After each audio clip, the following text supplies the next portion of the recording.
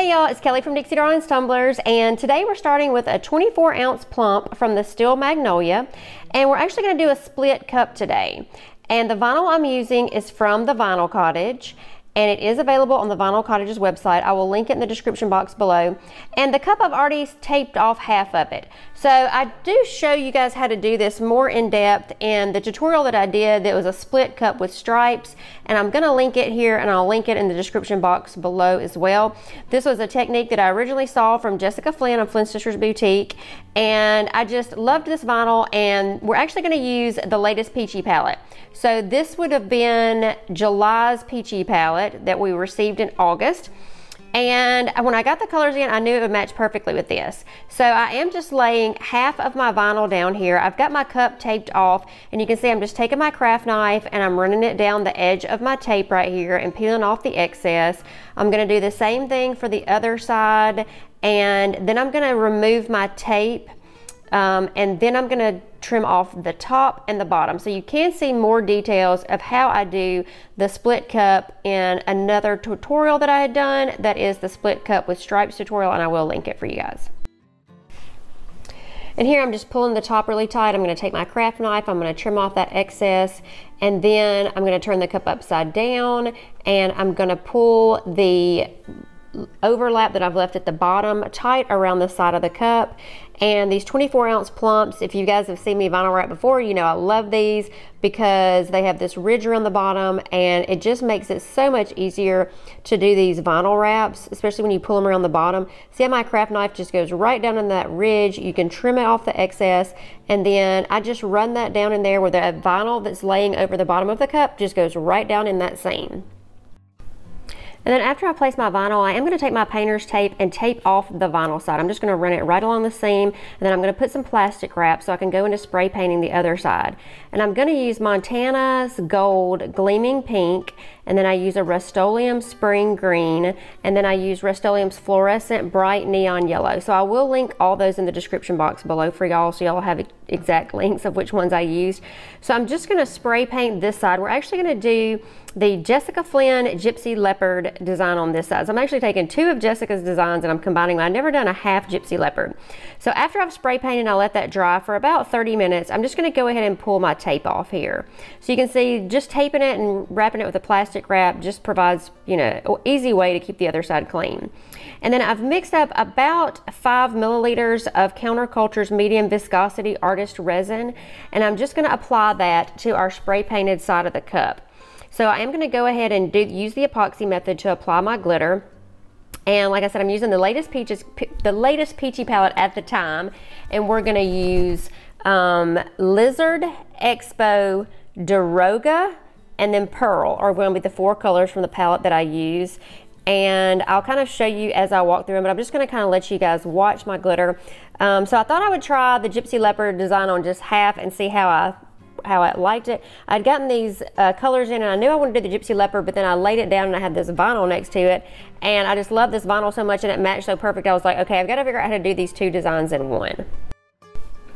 So I'm starting with my yellow and you can see I apply like a fair amount to the top of the cup. Um, but then I just apply it very sparingly as I'm going down into where the green spray paint is.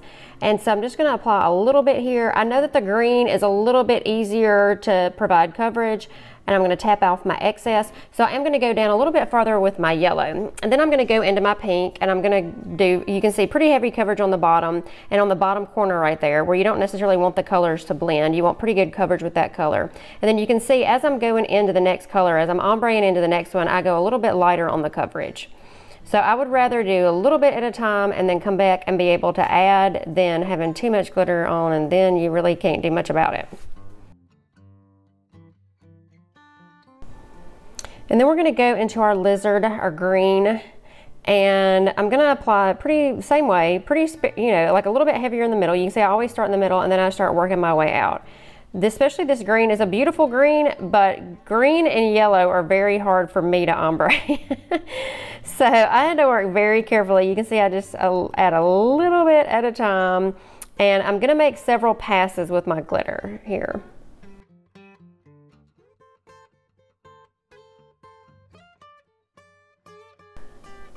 And I know it's kind of hard to tell from an above angle, but you can kind of see where I tilt my cup at an angle. I don't tilt it at too much of an angle, especially with the green going into the yellow, just barely, because I don't want that falling too far down on the cup. I want it to blend in a little bit, but when you see me go back in with the yellow and the pink, and then I'm also gonna use from Peachy Olive Glitter, their 10, 12, 13, I do go in at a steeper angle when I'm using those colors.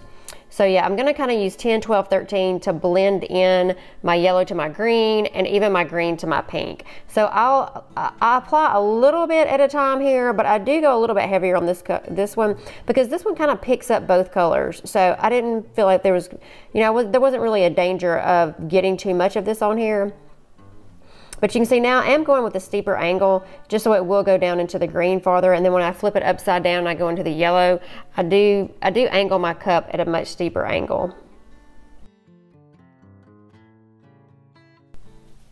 And then I'm just gonna start back over with my colors. So I have pretty good coverage with the 10, 12, 13. So you can see now I'm going in a little bit steeper and a little bit heavier with both colors to blend them down into the green. And I will make a pass back through with my yellow, my pink, my green, and my 10, 12, 13. So I do make several passes through here just to make sure that they're good and ombre all in together. And then after I get them glittered, I'm gonna dust off any excess here and I just kind of pull my tape back here. I actually don't pull my tape off then. I go back in about an hour later and I'll pull my tape off then, just when I make sure that, you know, my glitter's getting, you know, set pretty well and I'm just not going to mess up anything. So I will go ahead and pull that tape off. And then I'm actually, once that dries, I'm going to let that coat dry for about six hours. I am going to go back in and apply another row of tape here. And I'm going to offset it just a little bit and I'm going to use my plastic wrap again and I'm going to tape that back section off because I'm going to use some Mod Podge um, spray sealer here, this clear acrylic sealer, and just to cover this. I don't want these colors really blended into each other. So a lot of times where I would use quick coat, this time I'm just gonna use um, the spray sealer. So I do use the spray sealer here before I go in and paint my leopard spots. Sometimes I do and sometimes I don't. So now I'm gonna go in and just paint my leopard spots in the green area. And you can see I'm just using a small angled brush. So if y'all have watched me paint spots on before, you know that I prefer to use Peachy Olive Glitter's clear adhesive. They do sell it on their website. It just seems to adhere the glitter better. I just like using it versus Mod Podge, but really you can use Mod Podge as well, either one. And so I'm gonna go in and paint the center of my spots first. And I'm gonna use Athena here by Peachy Olive Glitters. Uh, as the center of my spots and then I'm going to go back and use Expo as the outside of my spots. So I just kind of decided that was the color combination I wanted to go with here.